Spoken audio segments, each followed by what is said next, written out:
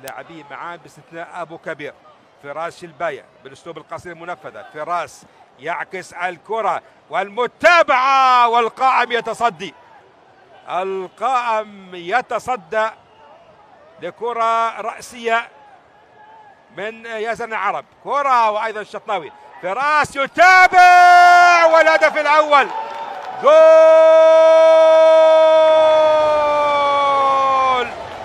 هدف أول عن طريق الظهير الأيمن فراس شلبايه فراس شلبايه يستثمر خطأ كبير بتشتيت الكرة من محمد شطناوي ويسجل هدف أول لمصعد فريق الوحدات في الدقيقة التاسعة.